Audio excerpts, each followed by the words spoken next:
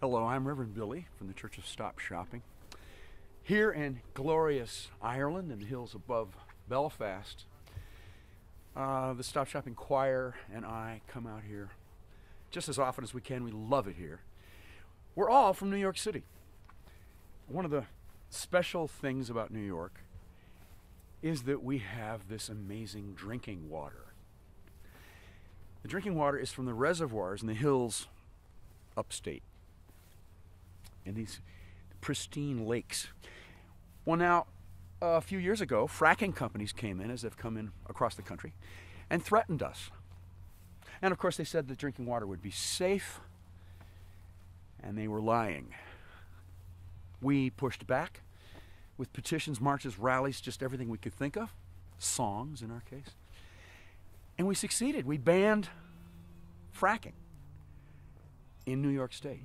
And now our our water is safe and our towns are safe. We don't have what we're suffering in so many places across the country uh, cancer clusters and poisoned water and, and big trucks everywhere, the industrialization of the beautiful countryside, and now even earthquakes.